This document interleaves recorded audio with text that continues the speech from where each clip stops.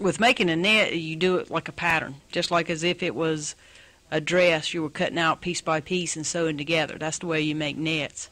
When they come out with the polyethylene, using that over the nylon because it fishes so much cleaner and you don't have to treat it. I think that's probably as much of, of a plus as anything.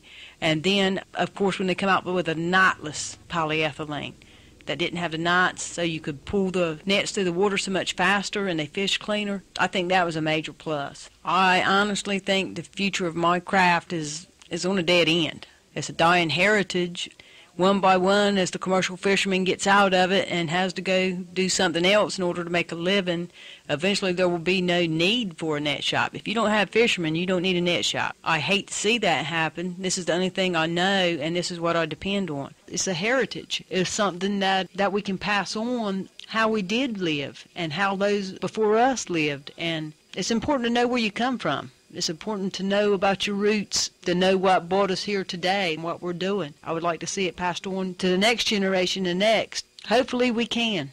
But things have to change in order for us to do so.